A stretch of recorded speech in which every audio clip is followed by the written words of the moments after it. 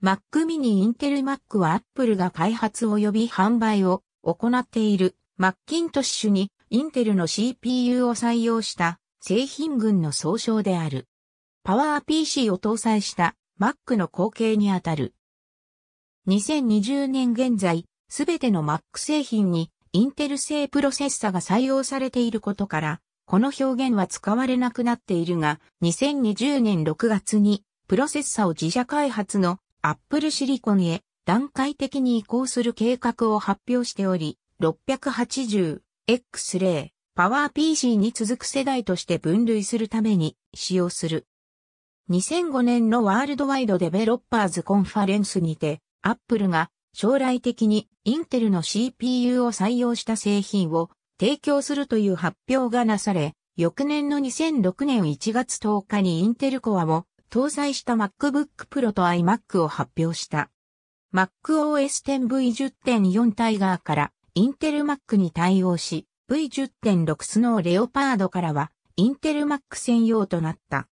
インテル製の CPU が搭載された経緯については、マッキントッシュのインテル Mac 時代を参照。ブートキャンプとは、インテル Mac で他のオペレーティングシステムを動作させることのできる新たな機能である。当初はインテルのプロセッサを採用しているが、Windows XP がインテル搭載 Mac の採用するファームウェア UEFI に対応していないため、既存の Windows XP を動作させることは疑問視されていたが、Apple からファームウェアアップデートとブートキャンプのベータ版のダウンロードによる提供が開始されたことにより、インテル Mac 上で Windows XP セルビスパック2を動作させることができるようになった。またブートキャンプは MacOS X V10.5 レオパードにて正式に採用されることとなった。ニュースリリース2015年にリリースされたブートキャンプ6.0以降では Windows 10のみがサポートされている。Apple は以前と同様に他社製 OS を意図的に排除していないが、逆に MacOS を他社製ハードウェアで起動させることはライセンス違反となる。ブートローダを UEFI に対応させた Linux などの OS は起動が確認されている。それまで Mac 上ではバーチャル PC やリエルプック等エミュレータを利用して他の OS を動作させていたが、ハードをネイティブに利用できるブートキャンプは注目を集めている。詳細はインテルコアデュオ2006年1月6日に発表されたインテル Mac の初代 CPU。Pentium M の後継にあたる32ビットの CPU である。 Intel Core 2デュオ詳細は、 Intel Core 2デュオ2006年7月27日に発表されたインテル Mac の第2代 CPU。 Intel Core Duo の後継にあたる。64ビットの CPU であり、前作の Intel Core Duo よりも高速である。ノート機はすべて T シリーズが搭載されている。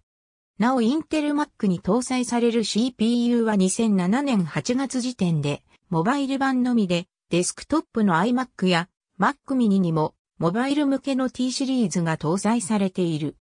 保証はないが、デスクトップ機の iMac と Mac mini の CPU はソケットから取り外すことが可能のためコアデュオからコア2デュオへのアップグレード可能とされている。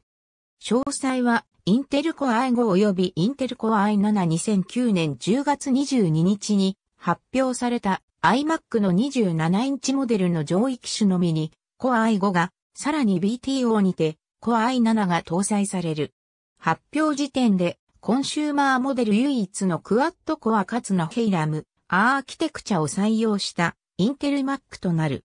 詳細は GO2006 年8月以降、ウッドクレスト世代が2008年1月以降、ハーパートーン世代が2009年以降にはナヘイラム WS 及びナヘイラム EP 世代が Mac Pro 及び iMac Pro 及び X サーブに採用されている。インテル Mac と呼ばれる製品には以下のものがある。ありがとうございます。